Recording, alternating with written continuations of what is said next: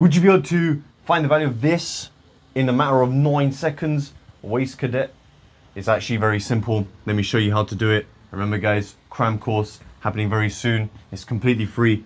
Link in my bio if you want to sign up. Now, we want the fifth root of 32 times 10 to the power of 10. Now, using our index rules, just to explain to you guys what we're doing here, if I have a product raised to a power, we do a to the power of n, b to the power of n. So all I need to do is do the fifth root of 32. Because it's a product, I can then do the fifth root of 10. So, it's easier if you guys think of this in terms of powers. Now, fifth root, if you guys remember, the power is not 5, it's 1 over 5. Remember, the denominator tells you which root you're taking, okay?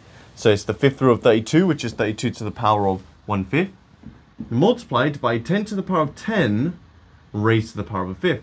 But because we already have a power here, we're going to have to use a bracket.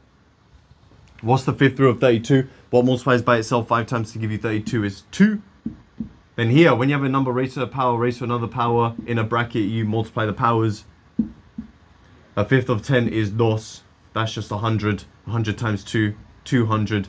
There's your answer. Head to Neil Does Maths on YouTube for more comprehensive GCSE tutorials. Nice.